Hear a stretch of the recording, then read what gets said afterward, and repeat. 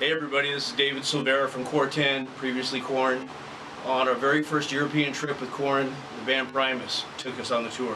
Can you imagine that? Our first trip to Europe, we go with Primus. And one of my biggest drum influences has always been Tim Alexander. So for Tim, these songs are for you.